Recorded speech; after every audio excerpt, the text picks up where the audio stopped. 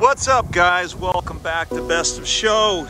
Today I'm driving the 2023 Hyundai Ioniq 5. This car is amazing. I absolutely love this car. Man, it is super cool on so many levels. It's electric.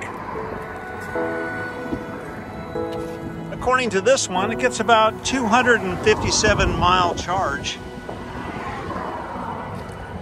Really nice. I definitely don't want to give this one back. I'm going to have to keep it like forever. Kind of a cubist design. Very different than the uh, Ioniq uh, 6 that's going to be coming. It's quite a spectacular day today in Malibu.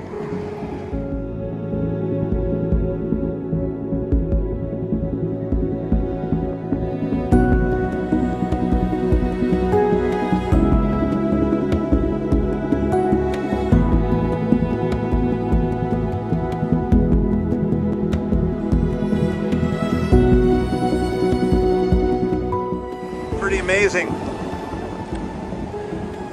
Not sure the price of the car, a lot of some of those details, but I think what's important is the design is very unique, very interesting. Does a lot of different things that work sometimes and sometimes don't. There we go.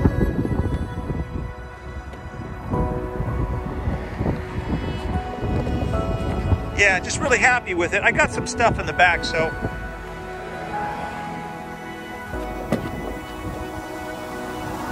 Carries a lot of stuff.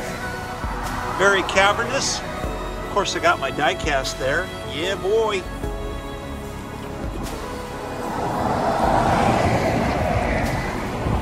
But quite amazing. I mean, it's got a really strong pull in sport mode. Very fast.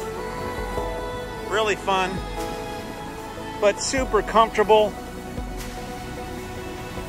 And if you're looking for a new electric car, I highly recommend one of these for sure.